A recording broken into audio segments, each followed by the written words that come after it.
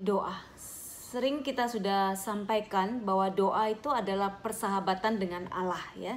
Jadi doa itu bukan soal metode, bukan soal teknik, tetapi benar-benar adalah suatu relasi dengan Allah.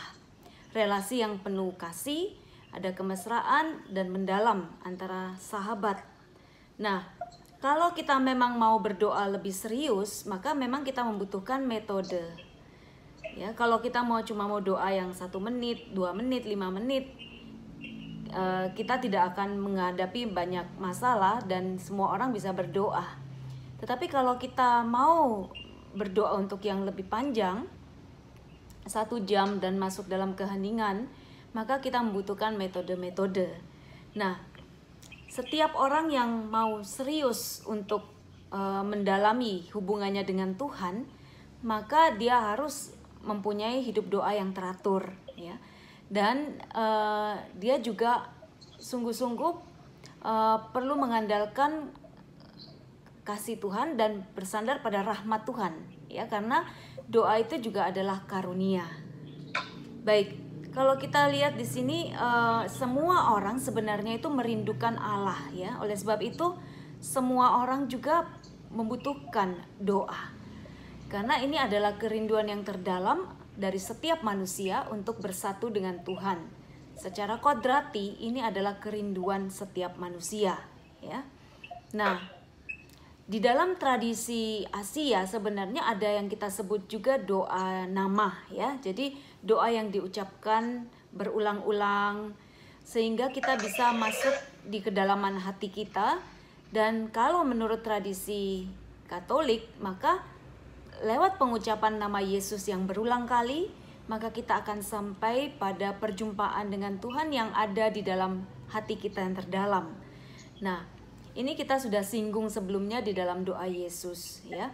Tetapi saya hanya singgung lagi sepintas sekarang bahwa e, kalau kita sungguh-sungguh bisa masuk ke dalam hati kita lewat pengulangan nama Yesus dan kita tahu dengan memanggil nama Yesus, maka sebetulnya kita sedang menghadirkan Yesus dengan seluruh kuasa kasih uh, di dalam diri kita ya. Jadi dengan memanggil nama Yesus secara berulang kali kita sendiri akan sangat terbantu dan kita akan mendapatkan banyak sekali rahmat.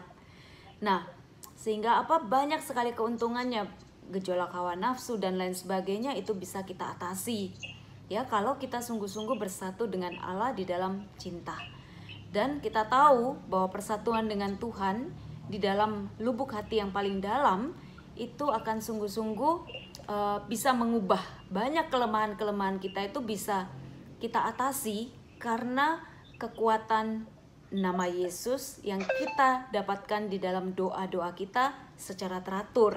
Nah, dan di dalam kisah 2 ayat 21 juga dikatakan, barang siapa yang menyerukan nama Tuhan, dia akan diselamatkan.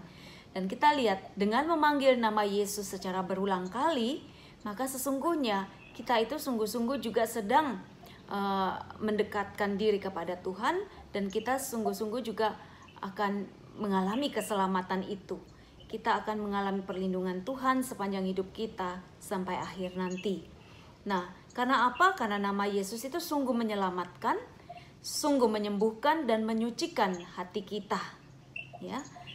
Karena kita percaya bahwa ketika kita memanggil namanya maka Yesus secara pribadi itu mau hadir bagi kita yang menyerukan namanya.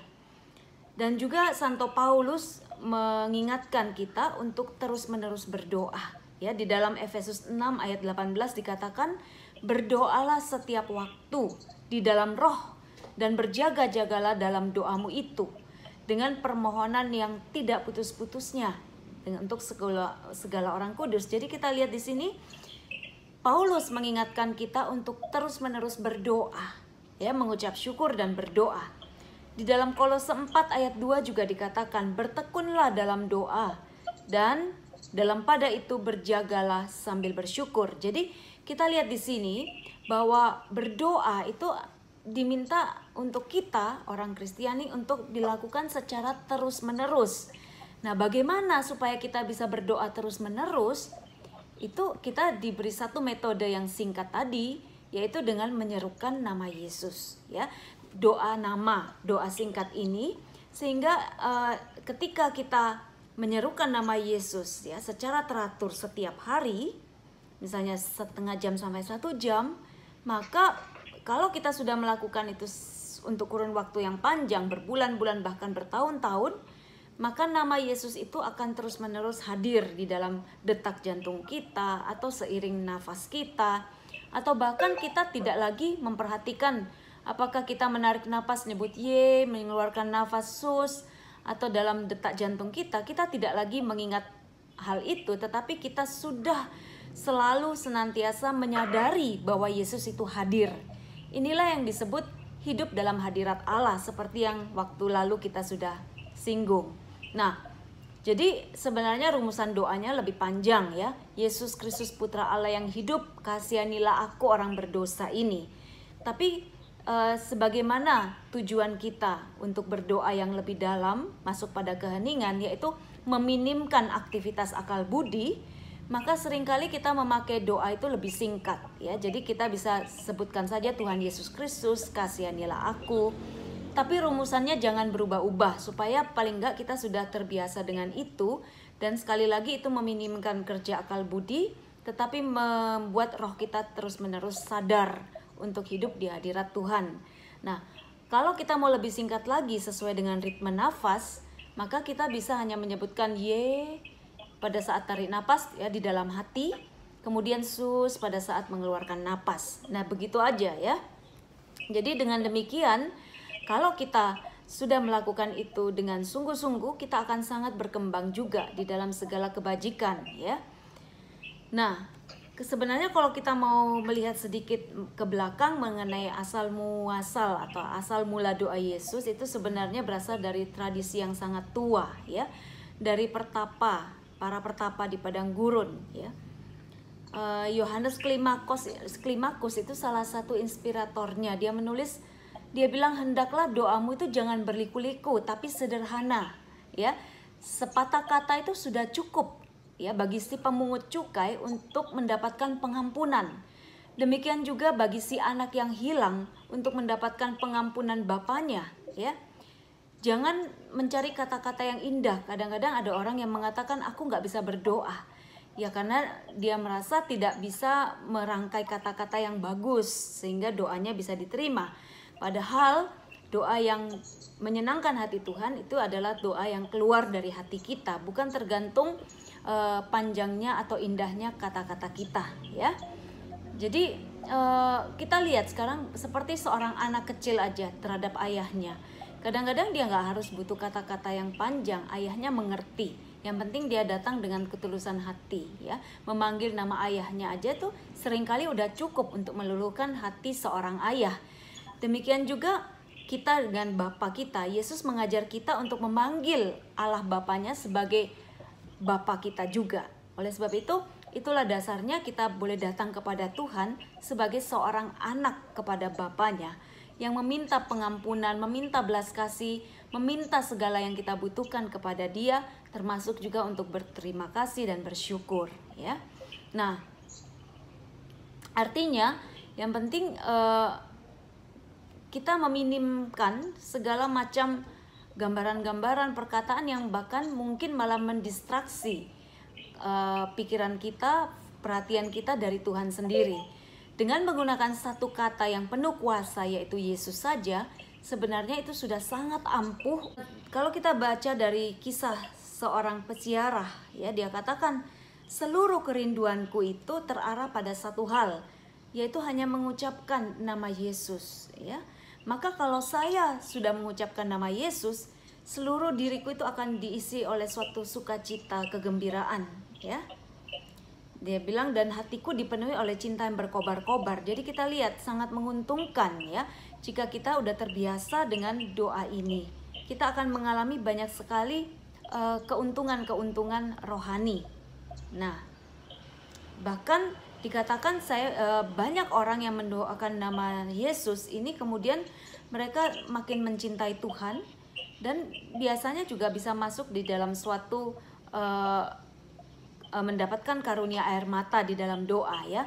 Kalau ada dari Anda yang ketika berdoa itu banyak mengeluarkan air mata atau menangis, maka bersyukurlah kepada Tuhan juga karena dikatakan oleh para bapak gereja, air mata itu juga adalah semacam membersihkan jiwa kita, ya. Jadi itu uh, juga melembutkan hati yang keras. Jadi bersyukurlah kalau Anda misalnya di dalam doa-doa kemudian juga menerima karunia air mata ini.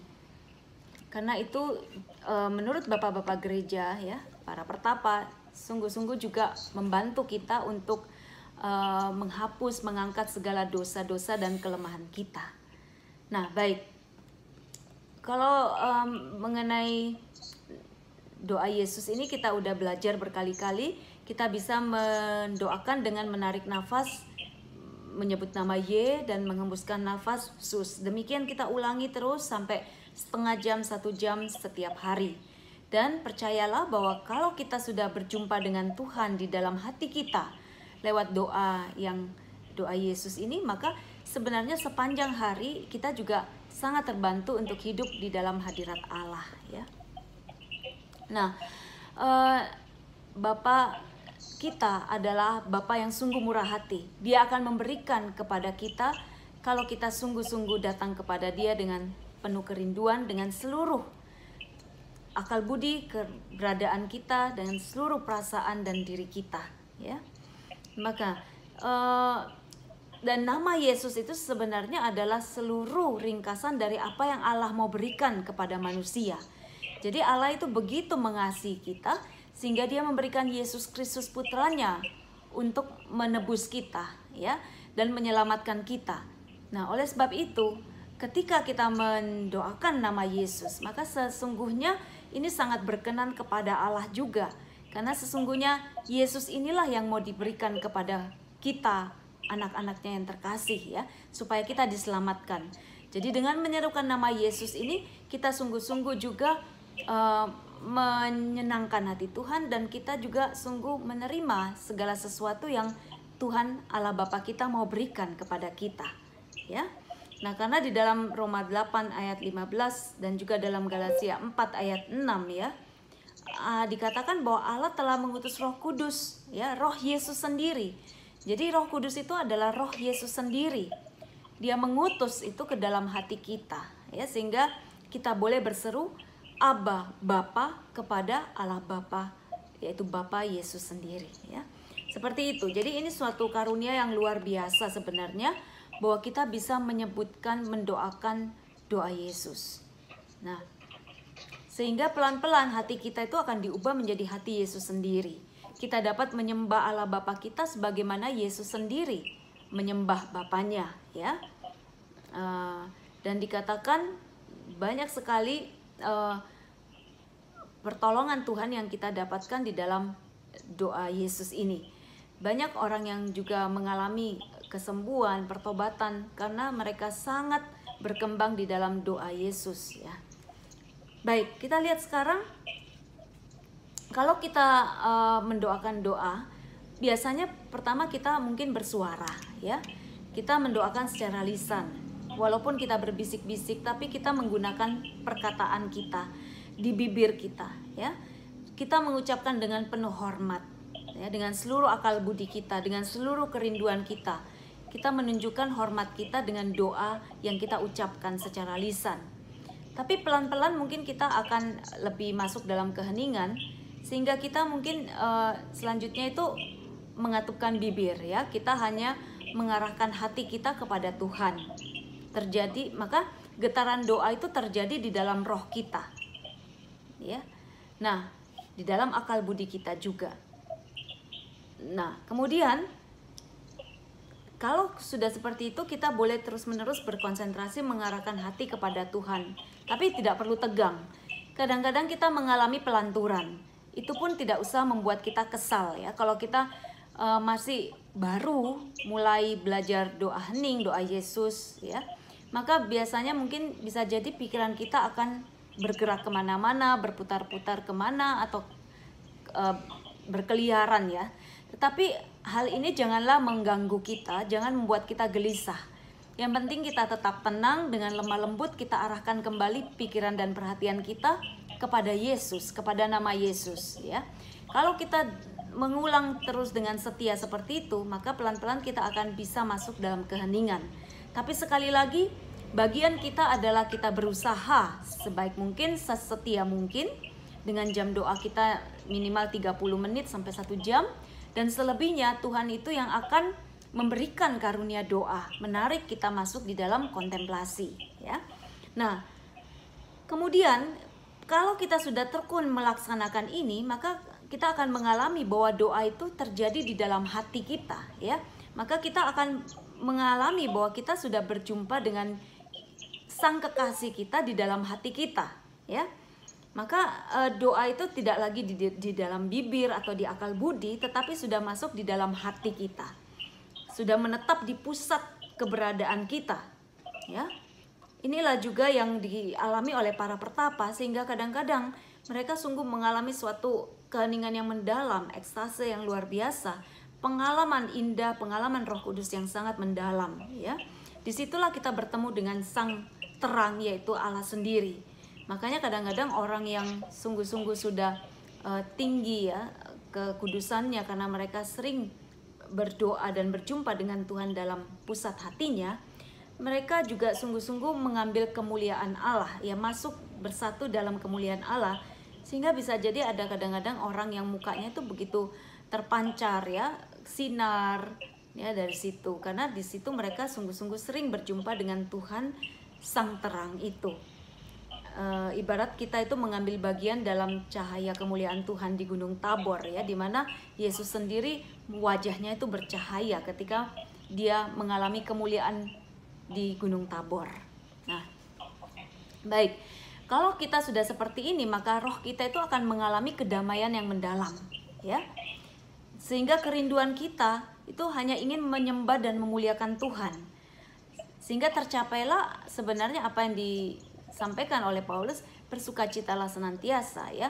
Kita dapat terus-menerus bersukacita, kita terus-menerus bisa tinggal dalam hadirat Tuhan dan kita sungguh hanya ingin mencintai dan memuliakan Allah Bapa kita. Nah, uh, ada harmoni dalam uh, dalam hati kita, dalam kehidupan kita. Dan kerinduan kita adalah untuk mengasihi Allah. Dan orang kalau dia merindukan untuk mengasihi Allah, pasti juga akan mengalir dengan memperhatikan, peduli dan mengasihi sesamanya. Karena tolak ukur kita mengasihi Tuhan adalah kalau kita sejauh mana dapat mengasihi sesama kita. Makanya kadang-kadang jangan heran kalau kita akhirnya e, mendapatkan peristiwa-peristiwa yang mungkin kurang enak ya. Berjumpa dengan orang-orang yang mungkin menjengkelkan. Sebenarnya itulah tanda bahwa Tuhan mempercayakan kita mempercayai kita untuk mengasihi orang-orang yang sulit. Karena ini adalah suatu ujian juga buat kita untuk melihat apakah kita sungguh, sudah sungguh-sungguh meningkat di dalam kasih atau belum. Kalau kita berdoanya banyak tetapi kemudian berjumpa dengan orang yang menjengkelkan dan akhirnya kita juga nggak bisa tahan dan kita memusuhi dia. Berarti itu tanda bahwa kita belum sungguh-sungguh berkembang di dalam kasih kepada Tuhan. Jadi selama ini doa kita sungguh uh, belum sungguh mengubah kita ya. Kita harus lebih membiarkan lagi Roh Kudus mengambil alih seluruh diri kita supaya kita dibentuk ya lewat doa dan kita bisa mengasihi orang lain dalam kehidupan kita setiap hari. Nah, ini itulah ujiannya yaitu di ketika kita berjumpa dengan orang-orang di sekitar kita. Inilah buah-buah doa nama ya, buah-buahnya kita bisa alami, kita akan semakin berkembang di dalam kasih ya.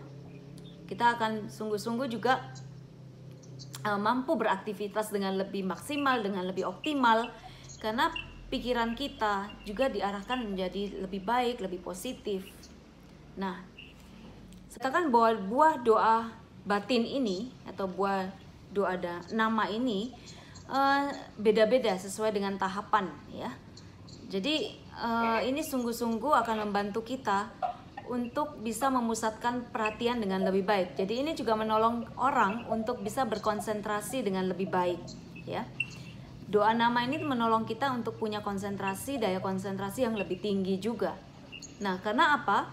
Uh, dengan hmm, seperti ini kita akan sungguh-sungguh mempunyai ketetapan hati, kekuatan hati, tidak mudah uh, goyah ya dari konsentrasi kita semakin terpusat kepada Allah yang hadir dalam diri kita. Jadi uh, mempunyai aktivitas yang minim untuk akal budi, tetapi roh kita ini uh, tidak mengembara ke mana-mana. Jadi dengan doa nama um, mempunyai dosis yang pas gitu untuk kita bisa tetap menerap uh, mengaktifkan roh kita memanggil nama Yesus tapi akal budi kita uh, tidak disibukkan oleh pikiran yang mengembara ke mana-mana. Nah jika roh kita sudah dipusatkan dan itu stabil maka dengan sendirinya kita akan mudah sekali masuk ke dalam hati kita dan bertemu dengan Tuhan di situ ya. Sehingga akhirnya kita nggak lagi terlalu rep memikirkan rumusan doa tetapi kita sudah tinggal menyadari dan menikmati bahwa Tuhan itu hadir dalam hati kita, ya. Jadi sudah mengarah kepada yang lebih rohani dalam batin. Sehingga kita akan mengalami suatu keadaan yang dikatakan tidur yang sadar. Jadi orang yang sudah uh, mengalami masuk di dalam kontemplasi atau persatuan dengan Tuhan di dalam hatinya, dia itu akan mengalami keadaan tidur yang sadar. Jadi uh, dia sadar tetapi dia tahu uh, pikirannya itu tidak beker tidak aktif lagi akal budinya tetapi rohnya sadar seperti itu ya inilah yang kemudian kita akan semakin mendekati pada tahap doa yang sejati ya doa yang sejati ialah di dalamnya kita bahkan tidak sadar lagi kalau kita itu berdoa gitu kan? Kata Santo Antonius. Jadi kalau kita tidak sadar lagi bahwa kita berdoa tapi kita terus-menerus mengarah terarah kepada kehadiran Tuhan. Dan kita tahu bahwa kita ada di dalam di depan di hadirat Tuhan. Seperti itu ya. Nah, jam-jam doa batin itu kadang-kadang kita anggap suatu pemborosan ya, pemborosan waktu karena kita sepertinya nggak ngapa-ngapain. Tetapi ini merupakan suatu jam doa yang subur untuk perkembangan rohani kita ya. Dan uh, dengan demikian, seperti sering kali saya katakan, kalau kita sudah mencapai tahap ini, maka seluruh hari-hari kita itu menjadi suatu doa. Karena apa? Karena kita bisa terus-menerus sadar bahwa kita ada bersama Tuhan.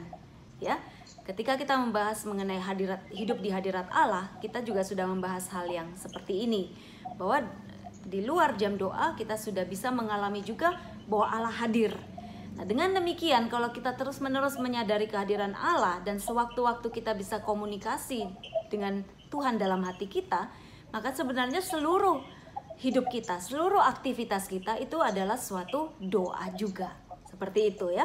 Nah, tapi jangan kecil hati ya kalau kita masih sering jatuh bangun. Kadang-kadang bisa konsentrasi, kadang-kadang tidak, kadang-kadang bisa masuk berjumpa dengan Tuhan secara mesra tapi kadang-kadang juga tidak.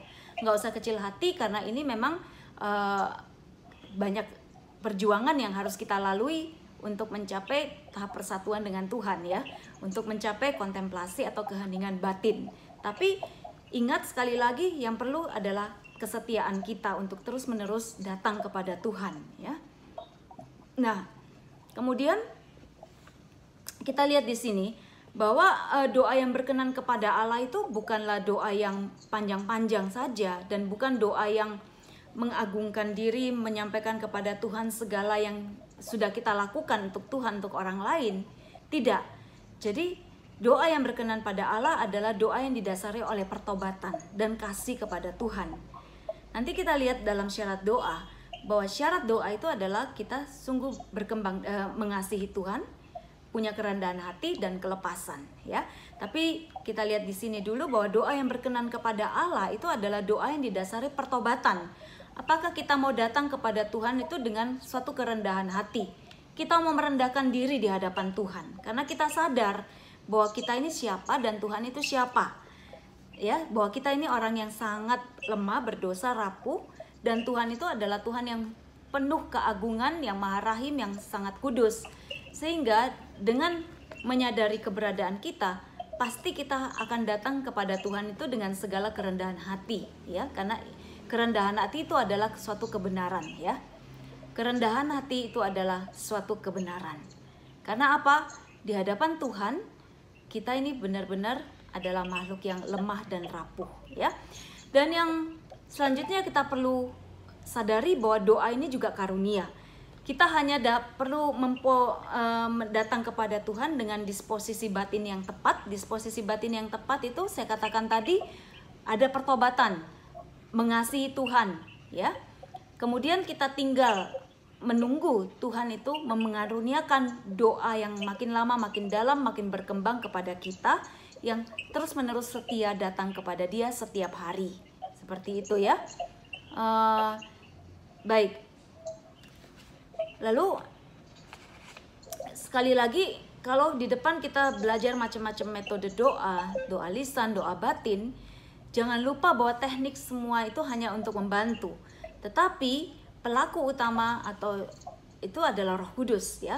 Bahwa doa itu adalah betul-betul karunia Roh Kudus. Jadi segala teknik yang baik itu tidak dapat menggantikan karya Roh Kudus di dalam diri kita, seorang pendoa.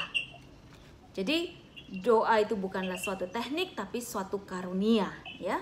Yang penting kita mau datang kepada Tuhan dengan segala kerinduan kita.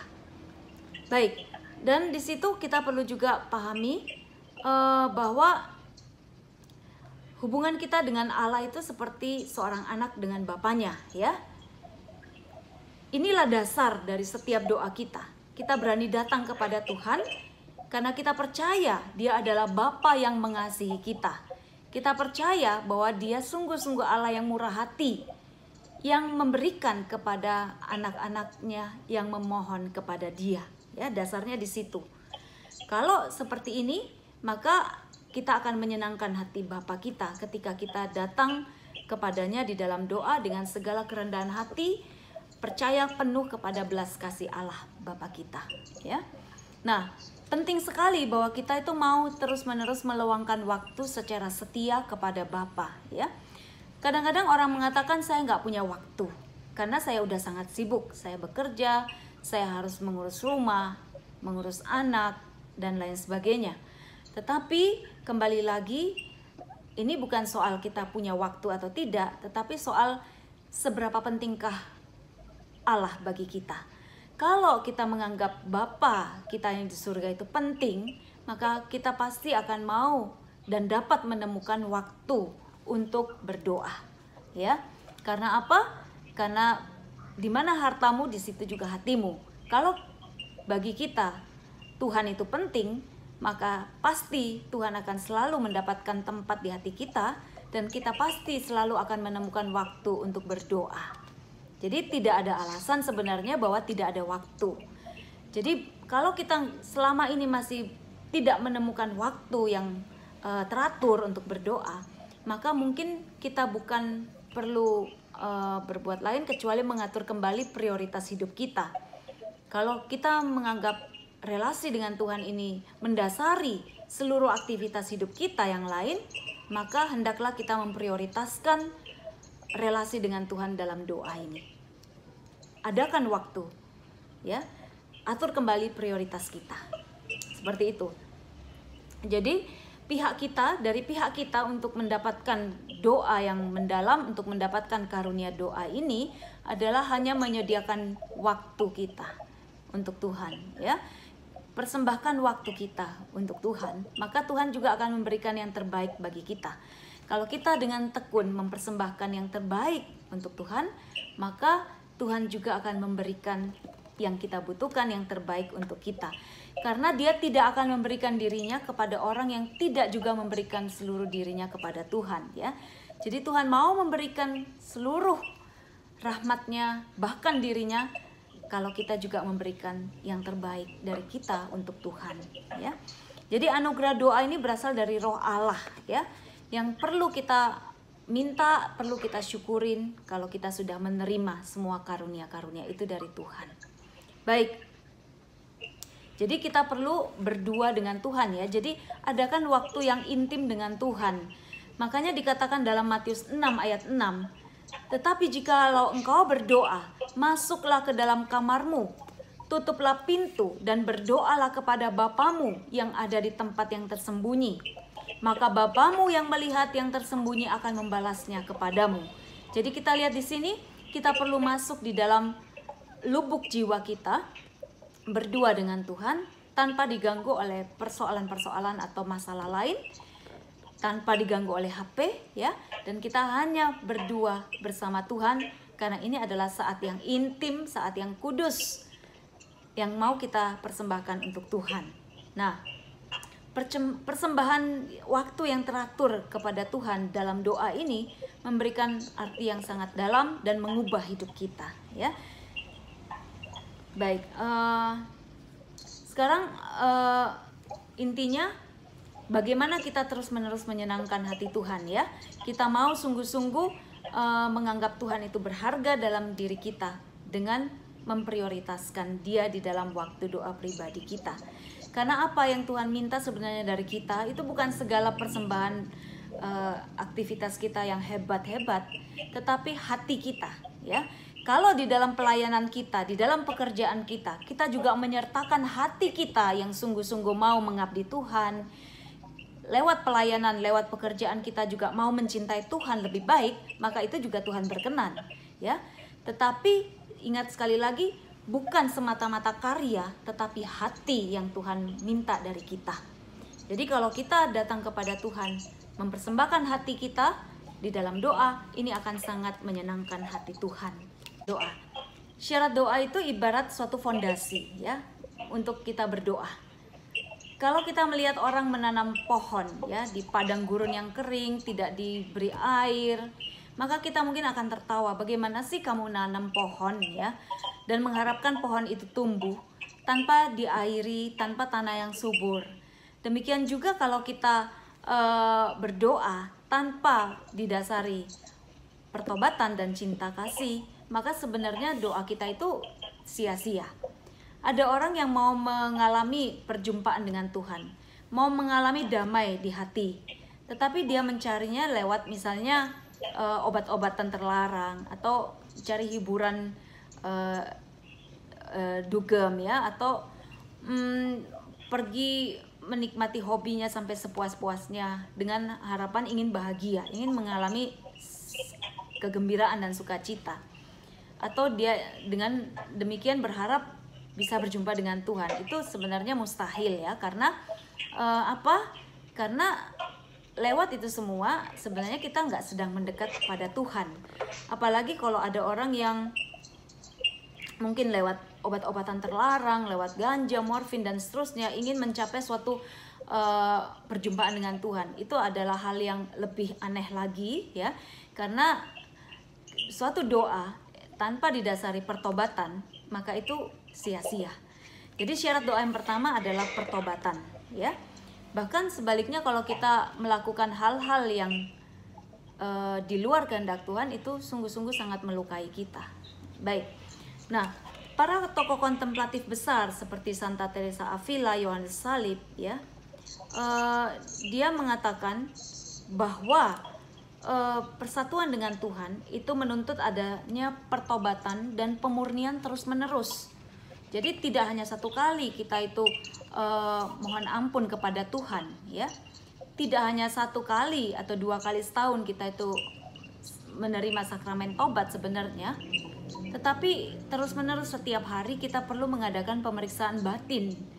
Baik kita misa pagi kah atau kita mau tidur malam, maka seharusnya kita mengadakan pemeriksaan batin dan kita punya komitmen untuk lebih baik dan bertobat. Nah, itu yang akan menjadi dasar buat doa kita kalau kita terus-menerus mau bertobat, ya. Hidup doa yang sejati mustahil berkembang tanpa syarat-syarat ini, ya jadi artinya kalau kita mau masuk di dalam persatuan dengan Tuhan, dalam kemesraan dengan Tuhan, maka itu menuntut kita perlu bertumbuh juga dalam banyak kebajikan-kebajikan, ya. Oleh sebab karena Tuhan itu adalah Allah yang maha baik, ya. Jadi kita pun perlu bertumbuh dalam kebajikan-kebajikan sehingga hidup kita akan semakin bersatu dan mesra dengan Allah. Nah, dikatakan uh, bahwa fondasi kerendahan hati itu juga salah satu dasar ya. Karena semakin tinggi pelayanan kita, maka fondasi kita yaitu kita juga harus semakin rendah hati. Fondasi kita harus makin kuat, makin dalam dengan semakin banyaknya pelayanan kita. Bahkan dikatakan juga semakin banyak orang membutuhkan kita, semakin banyak pelayanan kita, maka semakin banyak juga kita membutuhkan Tuhan. Artinya apa? Semakin banyak juga waktu doa yang kita perlukan, ya. Uh, jadi doa dan kebajikan Kristiani itu harus berjalan seimbang. Kalau kita mau makin bertumbuh dalam doa, maka kita juga harus makin bertumbuh dalam kebajikan-kebajikan Kristiani. Nah, kalau kita sungguh-sungguh menyadari ketiga hal ini, ya, tadi pertobatan itu syarat yang penting sekali, syarat awal, syarat mendasar. Kemudian ada syarat lain lagi yaitu cinta kasih, kemudian kerendahan hati, dan kelepasan yang akan kita lihat tiga dasar ini ya.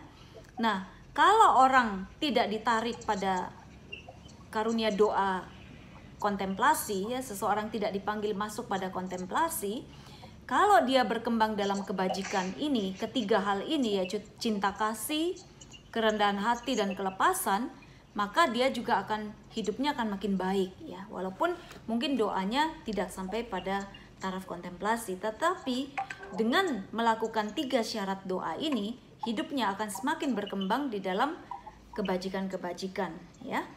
Baik, kita lihat yang pertama, syarat pertama yaitu cinta kasih. Allah adalah kasih. Barang siapa tetap berada dalam kasih, ia berada dalam Allah dan Allah dalam dia. 1 Yohanes 4 ayat 16 ya. Nah, kasih itu sebenarnya apa sih? yaitu yang dimaksud di sini adalah persahabatan dengan Allah ya. Manusia dengan Allah. Jadi itu pergaulan mesra. Dimulai di dunia ini kita sudah bisa mengalami persatuan dengan Tuhan dalam kasih itu dan sempurna ketika kita kelak bertemu Bapa di surga.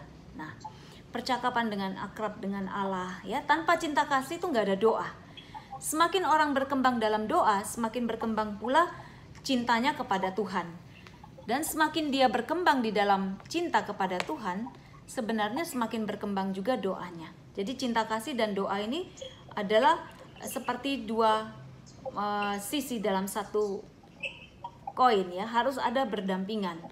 Jadi cinta kasih dan doa itu harus ada bersama-sama. Kemudian uh, kita lihat juga di sini bahwa kalau kita mengasihi orang, orang lain itu juga tanda bahwa kita sudah berkembang di dalam kasih kepada Allah. Jadi kalau kita berkembang dalam doa itu artinya kan berkembang dalam kasih kepada Allah. Nah, buktinya apa? Yaitu kalau kita bisa mengasihi orang di luar kita. Makanya kalau ada orang yang hanya suka berdoa, tetapi dia nggak mau bertemu dengan orang, dia nggak mau melayani karena katanya banyak gesekan, makan hati, maka itu belum sungguh-sungguh menunjukkan bahwa doanya udah berkembang ya. Belum sungguh-sungguh menunjukkan bahwa dia udah berkembang di dalam kasih ya. Kenapa saya katakan belum sungguh-sungguh doanya berkembang? Ya karena dia belum menunjukkan belum membuktikan apakah dia sungguh-sungguh mengasihi Tuhan enggak karena tidak mau uh, mengambil resiko dengan berjumpa dengan sesama. Karena perjumpaan dengan sesama itu kan mengandung resiko bahwa kita bisa sakit, ya, kita bisa terluka di dalam pelayanan dan lain sebagainya. Nah, ini adalah suatu hal yang perlu kita sadari, kita pahami. Nah, kasih persaudaraan itu adalah bukti adanya kasih kepada Allah, ya. Baik. Sekarang kita lihat ada dua macam cinta, ya, cinta manusia dan cinta ilahi. Kalau kita udah bilang bukti kita mengasihi Allah adalah kalau kita mengasihi sesama. Nah, sekarang kita lihat cinta manusiawi dan cinta ilahi. Kalau cinta manusiawi itu berpusat pada diri sendiri, ego. Kita mau dipuji, kita mau disenangkan, eh, kita mau diikutin keinginan kita dan seterusnya. Tapi cinta ilahi itu adalah cinta yang mau memberikan diri, ya, bahwa berkorban, memperhatikan kepentingan orang lain, tidak mencari kepuasan diri sendiri. Kasih ilahi itu akan menipiskan ego kita ya.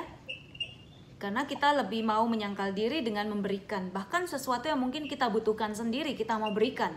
Misalnya seperti waktu. Kita semua membutuhkan waktu untuk senang-senang untuk diri sendiri ya. Untuk hobi kita untuk menikmati santai menikmati istirahat yang lebih dari cukup. Tetapi ketika ada tuntutan orang lain sangat membutuhkan kita, mau nggak kita memberikan sebagian dari waktu kita yang kita sendiri butuhkan seperti itu. Ini adalah satu tantangan untuk kita berkembang di dalam kasih. Tapi kalau kita um, melakukan itu, maka pelan-pelan kita juga itu semacam latihan ya buat kita sehingga pelan-pelan ego kita akan semakin terkikis. Tetapi kalau kita nggak terbiasa untuk uh, menyangkal diri, ya kita pengennya santai ada orang minta tolong ah, udah nanti aja kalau aku bisa kapan bisanya juga belum tahu. Nah kalau kita nggak terbiasa menyangkal diri maka lama-lama ego kita itu akan makin kuat. Maka makin sulit untuk kita bisa mengasihi. Makin sulit untuk kita bisa melayani orang lain ya. Bahkan bisa jadi kita akan mungkin mengorbankan orang lain demi kepentingan kita sendiri. Maka kalau kita nggak hati-hati ya sering menyangkal diri, itu maka pelan-pelan mungkin kita akan ditarik untuk lebih lagi memuaskan ego kita dan akan semakin sulit untuk kita bisa melayani, memberi diri, berkorban. Bahkan kita mudah jengkel, mudah kecewa kepada orang lain dan seterusnya. Bahkan yang lebih buruk lagi kita bisa mendendam menuntut balas. Nah, ini pada gilirannya nanti akan melukai diri kita sendiri ego kita akan melukai diri kita sendiri karena kita akan masuk pada cinta diri yang tidak teratur. Ini akan membuat kita akan semakin uh, terjerumus lagi ya dan semakin terluka. Ada orang yang nggak setuju dengan kita aja kita udah bisa marah, dendam dan seterusnya. Yang rugi siapa? Ya kita sendiri ya. Baik. nah, oleh sebab itu kita bersyukur. Kadang-kadang ada peristiwa-peristiwa yang gak enak yang mungkin kita alami dalam komunitas ya dalam pelayanan itu adalah untuk memurnikan kita untuk juga menolong kita lepas dari ego kita yang kuat ya sehingga pelan-pelan kita bisa semakin lembut ya semakin mempunyai kelembutan hati baik uh, Santa Teresa menasihatkan kalau kita mempunyai masalah dengan orang lain hendaklah kita menyelesaikannya ya jadi kalau kita marah kepada orang, belum tentu orang itu yang salah, ya kan? Bisa jadi memang kita yang punya masalah. Orang lain bicara, oh tadi kamu ngajarnya nggak enak. Kita tersinggung sampai sebulan. Tapi orang lain mungkin dikatakan tadi ngajarnya nggak enak. Itu menjadi satu bahan untuk dia ber, memacu diri, memotivasi dirinya belajar lebih baik. Kita lihat dua tanggapan yang berbeda ini menunjukkan oh masalahnya ada di saya kalau saya sampai marah padahal mungkin kritiknya adalah tujuannya untuk memperbaiki membangun kita kan seperti itu. Jadi ini sangat merugikan kita. Ego yang tidak diatasi akan melukai diri kita sendiri. Nah dan perlu kita ingat bahwa Allah sendiri itu sudah mengampuni kita dari dosa yang begitu besar. Sehingga kita yang tadinya mati hidup ya. Tadinya kita uh, apa sih kita ini nasibnya mengalami kematian kekal tapi karena Tuhan mengampuni kita kita selamat. Demikian juga perlu kita wajib kita mengampuni orang lain yang salahnya itu lebih kecil daripada salah kita kepada Tuhan. Tapi Tuhan mengampuni. Itulah teladan kita mengampuni sebagaimana Tuhan mengampuni kita. Nah jadi semakin kita mengarahkan hati kepada Tuhan maka sesungguhnya kita akan juga tidak terlalu dipusingkan, tidak terlalu dirisaukan dengan perkara-perkara duniawi. Soal orang egois, soal soal orang menyinggung kita dan seterusnya, soal orang marah pada kita dan seterusnya kita nggak terlalu uh, dipusingkan oleh hal-hal seperti itu karena pandangan kita tertuju pada melakukan kehendak Allah. Ya, kalau kita udah terbiasa uh, melakukan latihan-latihan rohani seperti ini, maka kita akan semakin mudah untuk mencapai kekudusan, melakukan kehendak Allah seperti itu, ya. Dan dengan demikian kita akan menjadi orang yang makin kuat secara rohani. Orang yang paling mesra, orang yang paling dekat dengan Tuhan itu juga jangan lupa mendapatkan banyak juga salib ya sebagaimana Bunda Maria yang berjalan di sisi anaknya memikul salib kita tahu betapa pedih hati Tuhan pedih hati Bunda Maria ya tapi jangan khawatir karena kita tahu bahwa semua salib itu akan membawa kita pada kemuliaan ya jadi jangan mundur betapapun uh, betapapun kesulitan yang kita alami karena kita berjalan dekat dengan Tuhan, janganlah mengakibatkan kita kecil hati. Karena kita tahu pasti bahwa jalan yang sempit ini membawa pada kehidupan. Ya, jangan takut. Nah, lalu kemudian hmm, kita lihat lagi kalau kita udah mengalami ya bahwa ego kita itu dipangkas. Kita lihat dalam Yohanes 15 dikatakan, kalau engkau berbuah maka engkau akan makin banyak dibersihkan. Jadi kalau kita makin dekat dengan Tuhan, banyak sekali mungkin peristiwa yang akan memangkas ego kita. Supaya apa? Supaya kita akan mencapai ke si, uh, suatu situasi di mana Tuhan bisa berkarya secara bebas. Kalau kita sudah dipangkas dari ego kita, maka Tuhan akan berkarya dengan bebas di dalam diri kita. Baik, itu syarat yang pertama ya tadi mengenai cinta kasih. Kita akan berkembang di dalam kasih kalau kita semakin murni, semakin dibebaskan dari ego kita. Baik, kita sekarang akan melihat syarat yang kedua yaitu kelepasan. Kalau kita melihat ada yang permainan bajing itu berputar-putar ya ada permainan seperti itu maka kita lihat dia berlari begitu kencang tapi dia nggak akan sampai ke mana-mana. Dia hanya berjalan di tempat saja. Demikian juga orang yang mm, melatih diri doa banyak puasa banyak mati raga banyak dia pelayanan ke sana sini bahkan dia kurang tidur karena melayani banyak orang tetapi kalau dia tidak lepas dari segala buah karyanya dia tidak lepas dari keinginan-keinginan dirinya untuk dipuji dan lain sebagainya, maka sebenarnya semua pelayanannya, semua doanya itu tidak akan membawa dia ke mana-mana, ya, tidak akan membawa dia ke mana-mana, melainkan berjalan di tempat saja. Kita perlu sekali memberikan semua hasil pelayanan kita, karya kita itu kepada Tuhan.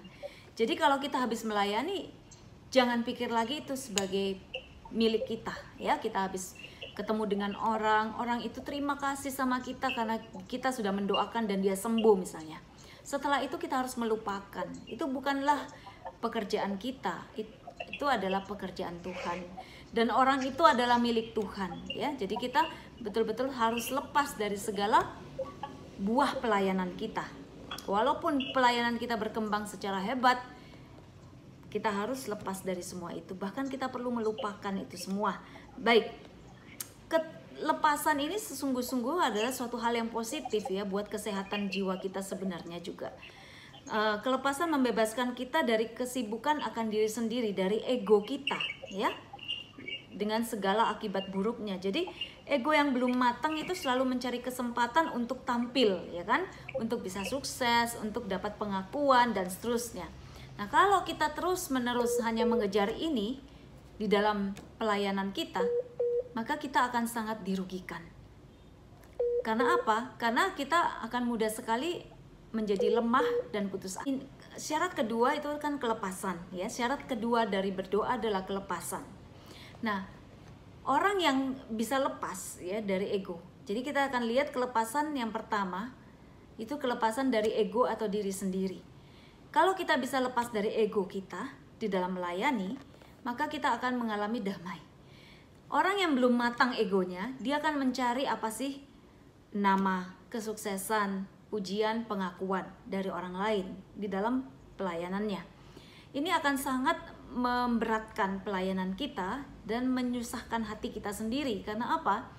Seringkali yang kita harapkan itu kita nggak dapat, ya. Kita pikir kita udah melayani baik banget tetapi ternyata orang nggak memuji, nggak terima kasih sama kita, bahkan mungkin mengkritik. Kalau orang yang tidak matang uh, kehidupan uh, kehidupan rohaninya, maka bisa jadi dia akan mundur dari pelayanan karena yang dia cari itu dia nggak dapat. Nah oleh sebab itu kita harus sungguh-sungguh lepas dari keinginan kita untuk segala sesuatu yang bukan untuk kemuliaan Tuhan ya dari ego yang belum matang seperti ini. Nah, kemudian kelepasan membebaskan kita juga dari keinginan akan barang-barang, ya, untuk memiliki apa yang orang lain miliki, termasuk karunia-karunia Roh Kudus. Kalau kita melihat, oh, teman kita sesama pelayan Tuhan itu mempunyai karunia macam-macam, bisa mengajar, bisa berdoa, bisa uh, kemudian bisa bernubuat, bisa menyanyi, bisa menjadi WL dan lain sebagainya.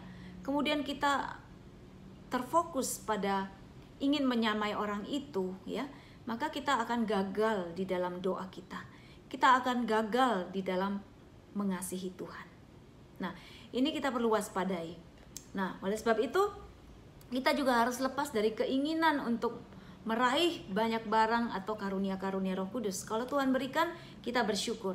Tapi sekali lagi, semua karunia, semua barang yang kita miliki itu hanyalah sarana untuk kita bisa mengabdi Tuhan lebih baik, bukan tujuan kita. Baik. Kemudian kelepasan juga tuh menolong kita dari rasa ingin tahu yang berlebihan, ya. Kita kalau tidak terlalu ingin tahu urusan orang, kita nggak akan masuk dalam segala macam gosip yang bahkan akan mengacaukan hati kita. Kita nggak bisa berdoa kalau terlalu banyak mikirin orang lain tentang gosipnya, tentang si ini, si itu, dan lain sebagainya. Kalau kita memikirkan orang lain dengan tujuan untuk mendoakan dia, itu baik. Tapi kalau kita hanya memikirkan orang lain segala keburukannya dan berhenti di situ, maka itu akan sangat merugikan kita. Ya, kalau kita terikat pada obrolan sia-sia, maka ini akan membuat kita sulit berdoa. Nah, kemudian juga kelepasan dari dan kemenangan atas suatu pemikiran konservatif. Ada orang-orang tertentu yang selalu membandingkan zaman sekarang dengan zaman dulu. Zaman dulu selalu menurut dia itu lebih baik, khususnya orang-orang yang sudah lebih berumur ya. Biasanya dia membandingkan kebiasaan sekarang dengan dulu, segala sesuatu dulu lebih baik kalau orang seperti itu, dia akan sulit sekali bersyukur padahal keadaan memang berubah. Bagaimana bisa ditahan untuk tetap seperti zaman 20, 30, 40 tahun lalu. Nah, orang-orang yang seperti ini dia akan sulit mempunyai damai sejahtera dalam hati sehingga dia akan sulit sekali untuk berdoa, ya. Kelepasan yang berikutnya itu membebaskan kita dari kekhawatiran. Jadi, kesibukan yang berlebihan itu juga akan so, uh, membebaskan kita kalau kita lepas dari kesibuk uh, kesibukan pada diri sendiri ya. Misalnya kita ah saya nggak mau deh pergi pertemuan doa. Karena apa? Pertemuan sel. Karena apa? Hujan. Takut masuk angin. Kepala saya sekarang udah pusing. Kalau saya pergi saya akan tambah sakit. Seperti itu. Kekhawatiran akan penyakit akan kesehatan diri yang berlebihan. Ini akan membuat kita juga tidak bisa berkembang di dalam hidup doa. Jadi ya saya nggak usah doa karena saya uh, nggak kuat misalnya seperti itu. Oke kali ini mungkin dia nggak datang pertemuan karena agak flu. Berikutnya nggak mau datang lagi karena takut nanti kalau datang kecapean padahal belum capek ya dan lain sebagainya itu yang diberikan contoh oleh salah satu para kudus uh, Santa Teresa Avila mengatakan Kadang-kadang kita terlalu banyak excuse dengan kondisi raga kita, fisik kita, sehingga kita mengabaikan doa. Jadi kita nggak mau berdoa, kita nggak mau mengadakan latihan rohani karena kita nggak mau kesehatan kita terganggu. Kelekatan pada uh, kesehatan atau ketakutan pada penyakit yang berlebihan ini menyebabkan kita juga nggak bisa berdoa. Nah semangat kelepasan ini menolong kita untuk mengasihi orang lain ya tidak memakai orang lain untuk kepentingan tetapi mengasihi orang lain ya. Karena apa? Sungguh sungguh-sungguh kalau kita lepas dari ego kita kita akan bisa melihat sebagaimana Tuhan melihat sesama kita. Tuhan mengasihi sesama kita Tuhan mengasihi orang lain ya. Sedangkan kalau kita tidak lepas dari ego kita kita cenderung untuk memanfaatkan orang lain demi diri kita ya. Baik sekarang kita akan melihat ya bahwa semua yang kita lakukan ini sebenarnya nggak mudah ya. Apa yang kita katakan tadi semua ini tampaknya bagus dan kita tahu itu betul, itu bagus. Tetapi untuk melakukannya sulit. Nah, kita harus kembali mengingat apa yang Yesus ajarkan. Masuklah melalui pintu yang sesak, karena lebarlah pintu dan luaslah jalan yang menuju pada kebinasaan dan banyak orang yang masuk melaluinya. Karena sesaklah pintu dan sempitlah jalan yang menuju pada kehidupan, dan sedikit orang yang mendapatinya.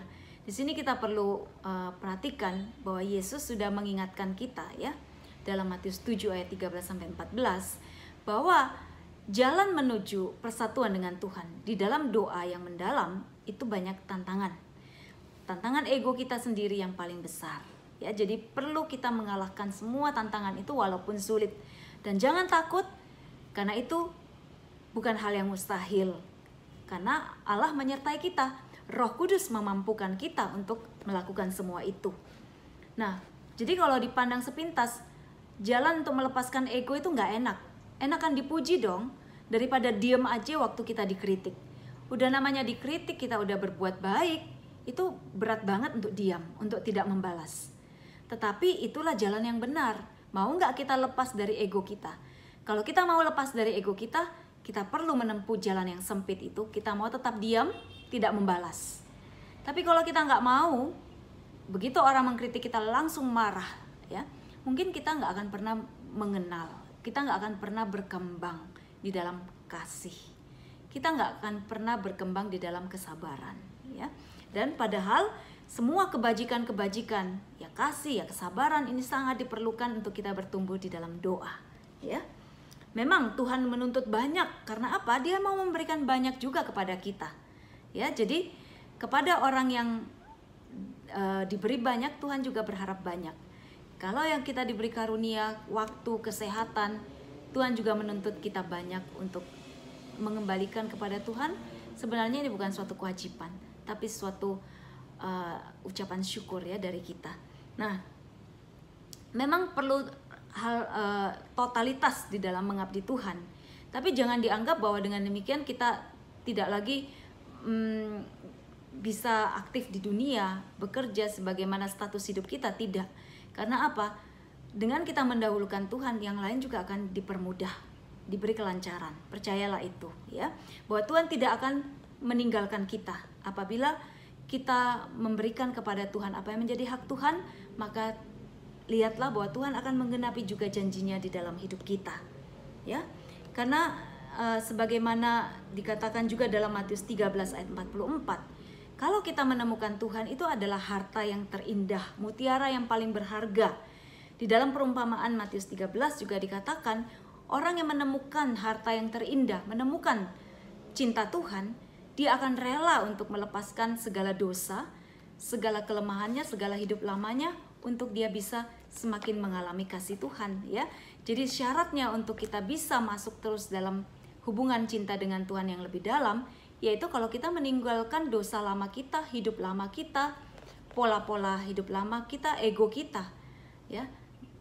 Itu artinya menjual semua yang kita anggap tidak setinggi nilainya dengan Tuhan. Ya, jadi segala ego kita, segala hobi kita yang mungkin selama ini uh, kita begitu pertahankan, kita bisa lepaskan karena kita tahu kita menemukan cinta yang lebih mulia yaitu cinta Tuhan sendiri. Baik, sekarang kita lihat syarat yang ketiga di dalam doa perlu kerendahan hati.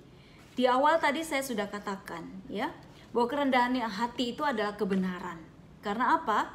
Semua orang itu di hadapan Tuhan adalah orang berdosa yang sangat lemah dan sangat membutuhkan Tuhan. Jadi kalau kita datang kepada Tuhan dengan kerendahan hati, itulah yang benar jadi kerendahan hati itu kebenaran, ya. Nah, kerendahan hati dan kelepasan ya dari ego dan dari segala macam yang lain yang tadi kita terang kita lihat bersama itu adalah disposisi hati, disposisi batin yang sangat baik untuk kita bisa mengasihi lebih banyak. Ya. Dengan kita mengasihi lebih banyak berarti kita juga akan semakin bertumbuh di dalam doa ya. Ingat doa dan kasih itu adalah seperti dua sisi dari satu mata, satu koin, ya. Tanpa kerendahan hati, kita sulit sekali untuk mengasihi secara sejati. Ya.